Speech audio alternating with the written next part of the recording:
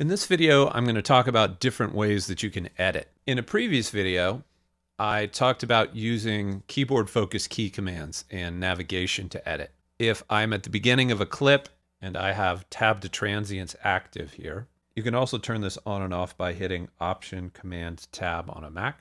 Then I can hit the Tab key and go to the first transient in my drum track. So you can combine the navigation keys and the keyboard focus editorial keys to quickly go through and just edit your session ahead of time, which is normally how I would do it. So P and colon go up and down. L goes to the left to the previous transient. Quote goes to the next transient. And then you have your trimming keys, which are A, which trims off the beginning, S that trims off the end. There is also fade keys, D, which fades the beginning, and G that fades the end. And you can combine these for a really quick editorial cleanup at the beginning of your session. So for instance, right now my cursor is at the beginning of my track. I hit the quote key or I hit the tab key. Now my cursor is right here the beginning transients of my drums. I could trim it with A, colon, down, trim, trim, trim, trim, trim. I could do this really fast. One way to make this easier is I can create an edit mix group in my bottom left, which I also showed in another video. I can highlight all of my drum tracks together, hit Command G, create a group. Then I would just be able to tab to transient once on my drum tracks. I could trim them all together as a group. You could have up to 104 groups. It seems like a weird number. If we go down to the bottom left, you could see that these relate to letters. So there's 26 letters in the English alphabet. You can see that there is four banks of 26 available for this weird number of 104. If you have a mouse-based workflow and you want to work that way, one choice is utilizing my trim tool. This allows you to edit the beginning of a clip and make it shorter. It also highlights the entire clip.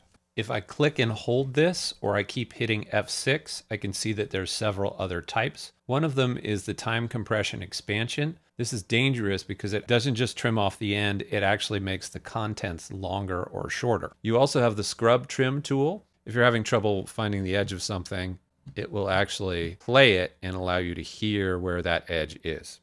This will allow you to trim using the mouse. I might want to give it a little bit of extra space in the beginning and then create a fade as well. So I have several options with this. I can again use my keyboard focus key commands, maybe tab to transient to that, and then I can hit D. It would put a fade on the beginning. Another choice that I have is I can highlight the entire area. I can hit F and Pro Tools treats it like a crossfade with the keyboard focus key commands.